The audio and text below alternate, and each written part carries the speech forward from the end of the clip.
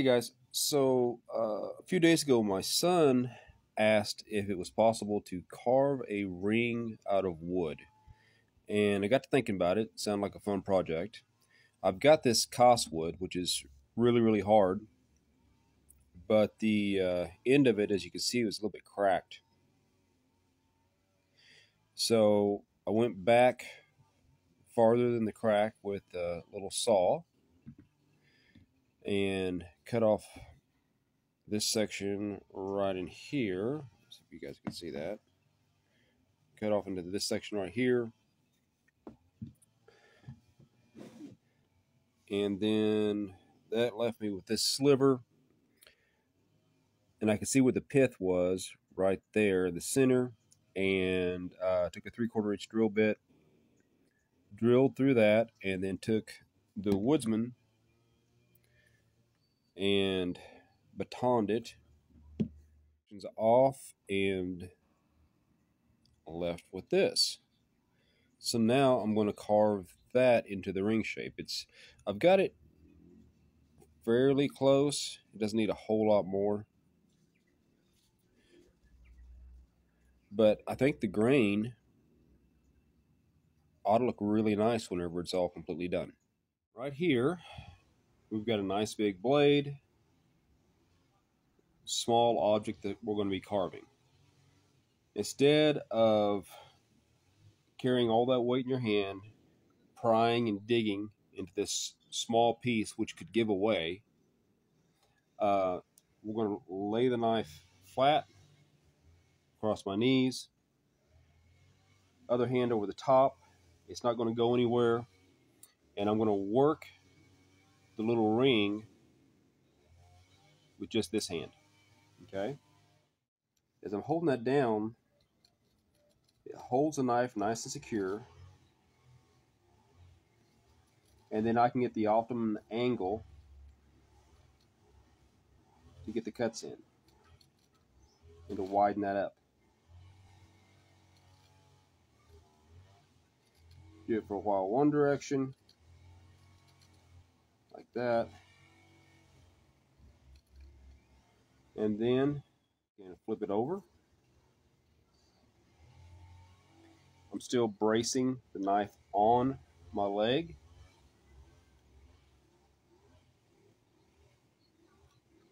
Hopefully the camera can grab this. I can make very deliberate cuts,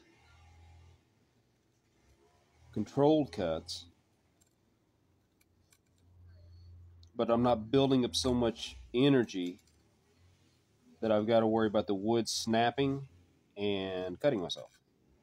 So let's see where we're at on this. Uh, getting closer. Okay, right now the knife is pinned up against my leg, controlling it with this hand. And I'm trying to get the angle where you guys see what I see is tricky. Luckily the knife is sharp because this costwood is hard. Just taking care of that center and opening it up. Okay, let's flip over.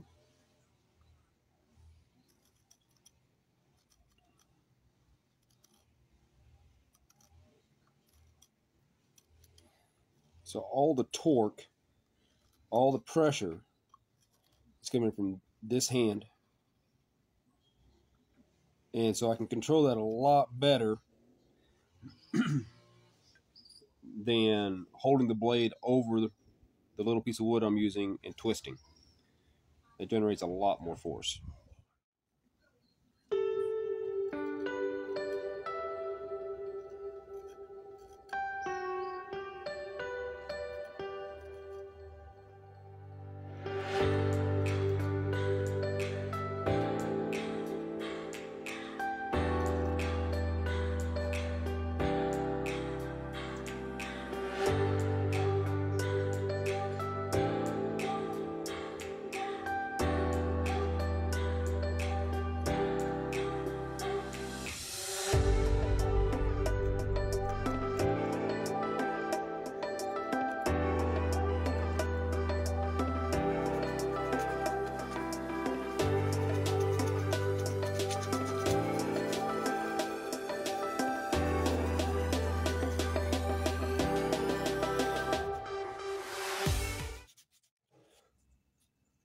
So I opened up the inside with 120 grit.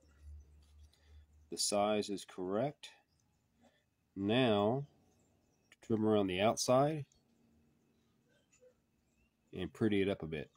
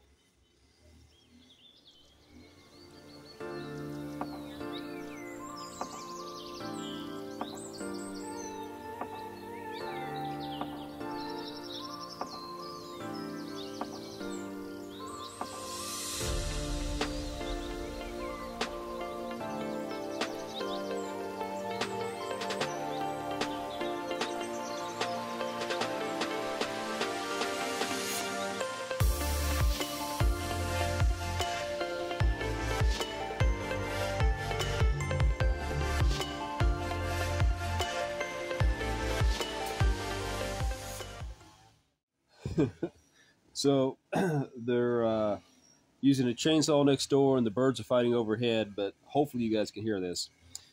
Um, one motion that I make is I'm drawing this sharp edge right across the grain, like that, which works really good for rounding that side off. The danger part is right here. This is super, super, super sharp. So whenever I'm bringing that up by basically I'm squeezing my hand and bringing that up. If you put too much energy behind it, or if it gets caught halfway and then you, you know, give some power to it, it can pop through and slice your thumb wide open. Um, so it's something to be aware of. I always put my thumb when I can off to the side so any pressure that I apply with my thumb is off to one side of that line. So if the knife comes up, it's going to miss the thumb.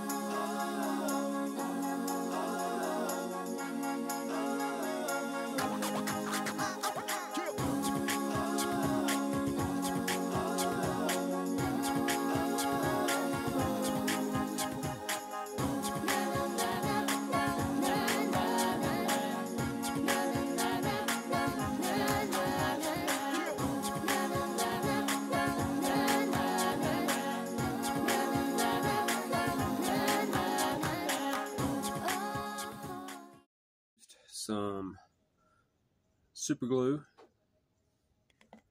and soak the ring so that way you guys can kind of see it.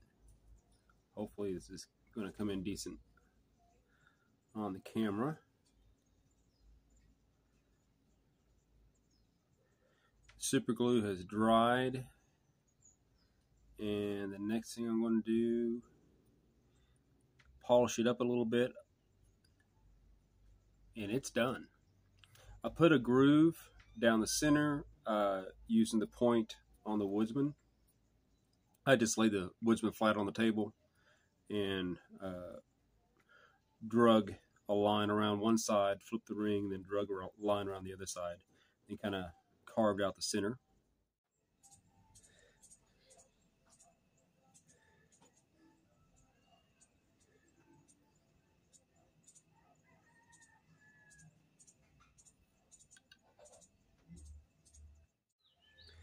Well, guys, it's done.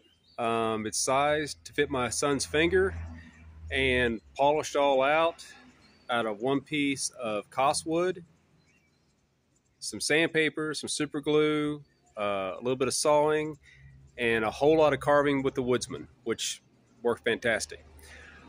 I hope that today getting to see the different ways I was using the blade and that kind of a larger blade for carving gives you guys some ideas.